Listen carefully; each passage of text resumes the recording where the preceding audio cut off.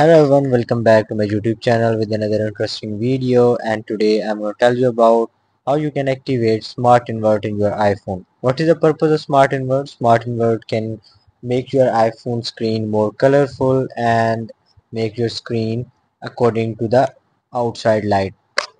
So you will uh, get an outstanding screen with a contrasty look. So how you can activate Smart Invert in your iPhone if you have 18. Open the control center, then tap and hold and tap on add a control. And now you have to scroll down and find the Smart Invert option. You will find this option at the end. Here you can see the option Smart Invert. Tap on this option and this option will be added to the control center.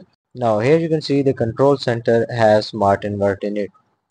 How you can enable this? You have to open control center and tap on the smart invert.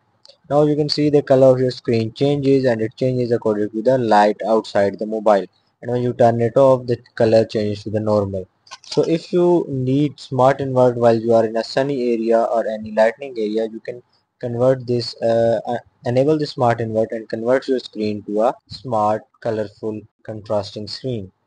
So by this way you can easily set smart invert in your iPhone if you have iOS 18. So that's it for the video. I hope you guys like it. Do subscribe for more videos and I will see you in the next one.